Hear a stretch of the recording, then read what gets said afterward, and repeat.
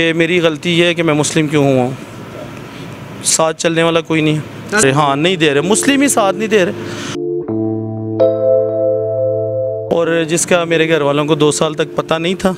दो साल तक नाजिन घर वालों को ये इलम नहीं था कि हमारा बेटा मुस्लिम है। सर, पता कब चला? क्या मामला पेश है मेरे पास सर्टिफिकेट्स भी हैं इस्लाम कबूल करने के और मैंने अपने नादरा डेटा सारा कुछ चेंज कर दिया। वो ये है कि मैं देखता था मस्जिद में पाँच टाइम नमाज़ करते हुए लोगों को जाना आना बावजू तरीके से और सपारा लेके मतलब बच्चे जाते थे। मुझे अच्छा लगता था। मुदसर की बातों को लाइक करें सब्सक्राइब करें और बेल आइकन को प्रेस करें ताकि नए आने वाली अपडेट आप तक पहुँच सके। अस्सलाम वालेकुम नाज़रीन, आपका मेज़बान मुदसर रशीद आपकी खिदमत में हाजिर है और आप देख रहे हैं मुदसर की बातें। देखते हैं सुंदरकानों कानों को मेरा सलाम। जी तो नाज़रीन, आज हमारे साथ वो शख्स मौजूद है जो कि अल्लाह की तरफ़ से आमद हुई कि मुसलमान हो गए, मुसलमान होने पर दो साल तक घर वालों को पता ही नहीं था कि हमारा बेटा मुसलमान है। मसाजिद में जाते थे, मस्जिद में जाते थे, लोगों से मुतासर हुए और मुसलमान हो गए। और पिंडी से लाहौर इंसाफ मांग ले, इसलिए आ गए कि मेरे घर वाले मुझ पर हमला कर रहे हैं। सर, बताइएगा कि आप मुसलमान कब हुए, किससे मुतासर हुए? और पिंडी से आप लाहौर क्यों आए असलम मेरा नाम आतिफ़ है। मैं छः सात साल से मुस्लिम कन्वर्ट हुआ हूँ और अपनी मर्ज़ी से कन्वर्ट हुआ था। मुझे किसी ने ज़बरदस्ती नहीं की। सर कैसे मुतासर होगी? वो ये है कि मैं देखता था मस्जिद में पाँच टाइम नमाज़ करते हुए लोगों को जाना आना बावजू तरीके से और सपारा लेके मतलब बच्चे जाते थे। मुझे अच्छा लगता था।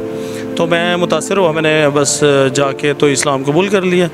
और बाकायदा मैंने आ, मेरे पास सर्टिफिकेट्स भी हैं इस्लाम कबूल करने के और मैंने अपने नादरा डेटा सारा कुछ चेंज कर दिया। और जिसका मेरे घर वालों को दो साल तक पता नहीं था। दो साल तक नाजिन घर वालों को ये इलम नहीं था कि हमारा बेटा मुस्लिम है। सर पता कब चला? क्या मामला पेश पता तकरीबन बिफोर फोर ईयर चला उन्हें। तो जब पता चला वो भी भाई मेरे गया नादरा में किसी काम से। तो जब वो उधर गया तो उधर उन्होंने जब डेटा मारा तो उन्होंने कहा कि आपका एक भाई कन्वर्ट हुआ हुआ है। हाँ? मुस्लिम है। तो भाई मेरे ने कहा नहीं हम तो सब क्रिश्चियन हैं हम नहीं मुस्लिम भाई कोई भी नहीं मुस्लिम हुआ। उन्होंने कहा नहीं हुआ एक। तो उन्होंने फिर वहाँ पे नाम मेरा खले पता कर लिया। हम्म। फिर घर आए उन्होंने रोला किया झगड़ा किया मार्कटाई और वाले साहब भी। तो घर से निकाल दिया। मैं निकल गया चुप करके घर से। मैंने कहा मैं अपनी मर्ज़ी से हूँ किसी ने ज़बरदस्ती नहीं किया। और मेरा दिल में मतलब अच्छा लगता था मुझे। बिफोर तो मुस्लिम आपका नाम क्या था और आफ्टर मुस्लिम क्या है? बिफोर मुस्लिम मेरा नाम था आतिफ मसीह। और आफ्टर मुस्लिम मैंने चेंज करवा दिया था नादरा में आतिफ वारिस। आतिफ वारिस। जी आतिफ वारिस करवा दिया था मसीह हटा दिया था। तो फिर उसके बाद उन्होंने घर से निकाल दिया जायदाद से हर चीज़ से मतलब बेदखल कर दिया। जी तो मैंने फिर अपने ससुराल वालों को कॉल की मैंने कहा ऐसे ऐसे मसला हुआ है। तो मेरे पास अभी जगह नहीं है रहने की। तो उन्होंने कहा कि आप आ जाएँ हम आपके साथ हैं। आपकी शादी बिफोर मुस्लिम है या आफ्टर मुस्लिम है? आफ्टर मुस्लिम होके मैंने की थी शादी। मुस्लिम कम्युनिटी पहले मुस्लिम था मैं तो बाद में मैंने मैरिज की थी आफ्टर मुस्लिम। जब आपने इस्लाम कबूल किया उसके बाद आपने शादी की? उसके बाद किया और वो मिसिज़ मेरी जो है मुस्लिम कम्यूनिटी की है और उन्होंने मुझे एक्सेप्ट किया अच्छे तरीके से और इज़्ज़त दी हर तरीके से। और मैं उनका बड़ा शुक्रगुजार हूँ सारी फैमिली का कि जो अब तक मेरे साथ हैं। और बस ये अभी लास्ट ईयर मेरे साथ थोड़ा सा प्रॉब्लम क्रिएट हुई है वो ये कि मैं और मिसिज़ मेरी और बच्ची मेरी जा रहे थे एक फ़ंक्शन पे गाड़ी में। तो हमारी गाड़ी को फॉलो करते करते पीछे एक मेरान गाड़ी और कुछ बाइक्स वाले थे ना हेलमेट पहने हुए। तो मिसिज़ मुझे कहती है ये स्टिल हमारे पीछे पीछे आ रही हैं आप रोक के पता तो करो क्या प्रॉब्लम है? क्या प्रॉब्लम मैंने क्या रोड है ज़ाहिर सी बात है जीटी रोड है जो, जो मर्ज़ी आए जाए जब कोई बात करेगा फिर बंदा बात करता है छोड़ो। तो हम थोड़ा सा आगे एक स्मार्ट आता है वहाँ पे पिंडी में। वो ज़रा थोड़ा सुनसान था। तो उसके पास आए तो फायर की आवाज़ आई। तो वहाँ से जब हम गुजरे, मैंने स्पीड पकड़ ली। मैंने कहा, पता नहीं कौन है?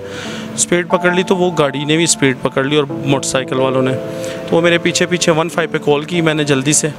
तो वन फाइव पे कॉल की मैंने कहा, ऐसे ऐसे मैं स्मार्ट डे से क्रॉस हुआ हूँ। तो हम पे फायर की मतलब आवाज़ आई है। तो ज़रा आप किसी को भेजें। या मेरा नंबर दें किसी को, रबता करें जल्द से जल्द इधर ही। तो मैं रवात वाली साइड पे जा रहा हूँ डी चौक। उन्होंने कहा, आगे जो भी आपको नज़र आता है ना गश्त वाली गाड़ी या कोई भी आप रुक जाएँ, उन्हें बताएँ। मैं आगे गया हूँ डी चौक के पास ना एक वन फाइव की गाड़ी खड़ी थी, मैं उधर खड़ा हुआ, मैंने कहा, सर, हमारे पीछे गाड़ी और बाइक वाले हैं। तो ज़रा आप उनसे पूछे फायरिंग कर रहे हैं। तो वो आगे से मुझे कहता है बच्चे आप जाओ आगे हम पता कर सर वो कौन लोग थे? आपको क्या लगता है क्या वजूहत थी वो? सर मैंने देखा नहीं है किसी को ब्लेम नहीं मैं देता कंफर्म नहीं है मुझे कौन थे लेकिन मेरा शक क्यों है। पहले शक है मुझे कि मेरे ननियाल में से अम्मी के तायाजाद चचाजाद भाई हैं दादू नाम है। वो इस उसने धमकियाँ दी थी पहले मुझे। क्यों कर रहे हैं? वजह क्या? वजह यही है उन्होंने कहा था कि हमारी इज़्ज़त थी महल्ले में आपने ख़राब कर दी आपने क्यों इस्लाम कबूल किया आप क्यों कन्वर्ट हुए हो? हम आपको नहीं छोड़ेंगे ना। मतलब वो ये कहना चाह रहे हैं कि आपने इस्लाम कबूल किया है हमारी रिस्पेक्ट खराब हो गई हमारा इमेज खराब हो गया गैदरिंग में आपने क्यों ये काम किया? हाँ हम सर नहीं उठा सकते किसी के आगे शर्म के मारे ये वो इधर उधर लेकिन कंफर्म नहीं है मुझे अब। तो मैंने उस फायरिंग के बाद वन फाइव पे कॉल की जब फायरिंग घर पे हो रही। और वन फाइव पे जब मैं कॉल कर रहा हूँ मैं उन्हें कह रहा हूँ कि सर आप सुन सकते हैं आवाज़ फायरिंग हो रही है। उन्होंने कहा जी हो रही है आपसे कोई रबता कर लेगा अभी। मैंने कहा ठीक है। तो घंटा गुजर गया किसी ने रबता नहीं किया। मैंने फिर कॉल की वन फाइव पे मैंने कहा स्टिल फायरिंग हो रही है। आप किसी को भेजें ये करें कि ज़रूरी है कोई नुकसान होगा हमारा तो फिर। जी। तो उन्होंने कोई रिप्लाई नहीं दिया। घंटा गुजर गया घंटे बाद एक एस एच ओ की कॉल आई मुझे कह रहे हैं कि आपने कॉल की थी वन फाइव पर मैंने कहा जी। कहते क्या मसला मैंने कहा ऐसे ऐसे करके बाहर फायरिंग हो रही है और अभी भी बंदे नीचे ही हैं जो भी हैं। मुझे नहीं कंफर्म मैं देख नहीं सक रहा लेकिन फायर कर रहे हैं बार बार तो आप आ जाएँ। लोकेशन पूछी मुझसे मैंने लोकेशन समझाई। इस दौरान आधा घंटा घंटा गुजर के आए हैं बाहर गली के तो मुझे कॉल करता है एस एच ओ साहब कि हम गली के बाहर आ गए आप आ जाएँ बाहर। बाहर आ जाएँ? हाँ। मैंने कहा सर मैं बाहर कैसे आऊँ? मुझे नीचे मार दें तो कौन जवाबदार है? आप गली में आए पकड़े उन्हें फ़ौरन अभी इधर ही हैं। कहते हैं अच्छा बंद कर दी कॉल फिर आधे घंटे बाद कॉल की मुझे। कहते हैं अच्छा हम आ रहे हैं। आधे घंटे बाद कॉल की हम आ रहे हैं। फिर जब वो आए कोई भी नहीं था। निकल के वो जिधर जाना था। तो क्या हुआ? फिर बाद में मैं नीचे उतरा हूँ, मोहल्ले वाले भी इकट्ठे हो गए। मोहल्ले वालों ने कहा कि बहुत फायरिंग हुई है।